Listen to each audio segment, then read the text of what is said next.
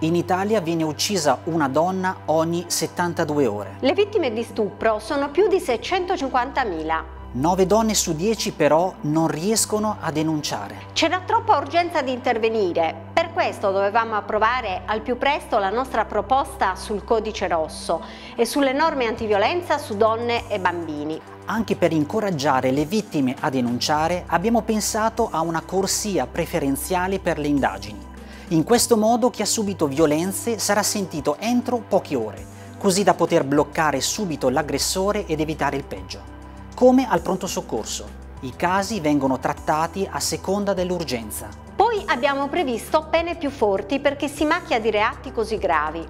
Fino a 7 anni di carcere per chi è responsabile di maltrattamento e stalking.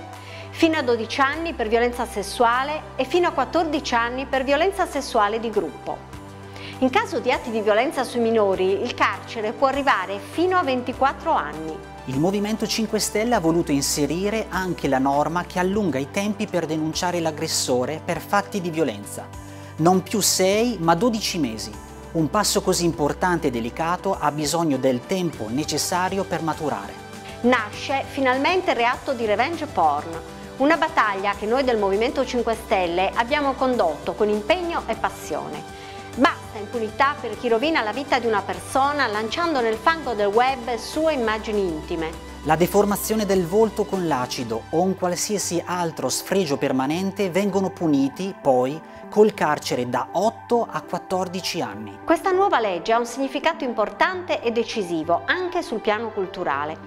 Alle donne e a tutte le vittime di violenza diciamo dovete essere libere di vivere, liberi di vivere. Denunciate, lo Stato è dalla vostra parte. Anche di questa nuova legge parleremo a Italia 5 Stelle per festeggiare i 10 anni del movimento.